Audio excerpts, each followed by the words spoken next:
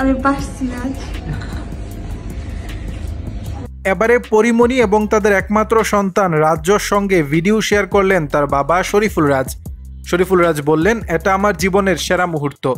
ঢাকায় সিনেমার আলোচিত নায়িকা পরিমণি প্রথমবারের মতো মা হয়েছেন। বুধবার দশ আগস্ট সন্ধ্যায় রাজধানীর একটি হাসপাতালে তার কোলজুড়ে এসেছে পুত্র সন্তান। এর মাধ্যমে জীবনের নতুন ধাপ শুরু হলো পরি ও তার স্বামী শরীফুল রাজের। বাবা হওয়ার পর তাৎক্ষণিক প্রতিক্রিয়ায় রাজ বলেছেন, বাবা হয়েছি, মা ও ছেলে উভয়ই সুস্থ আছে, সবাই দোয়া করবেন। তারপর একটি ভিডিও এবং পরীর ছবি শেয়ার করে মনের অনুভূতি প্রকাশ করেছেন শরীফুল রাজ। হালের আলোচিত এই অভিনেতা স্ত্রীকে উদ্দেশ্য করে ফেসবুকে লিখেছেন হ্যাঁ তুমি এটা করেছ, প্রিয় সঙ্গী। আমি নির্দ্বিধায় বলতে পারি, এটা আমার জীবনের সেরা মুহূর্ত।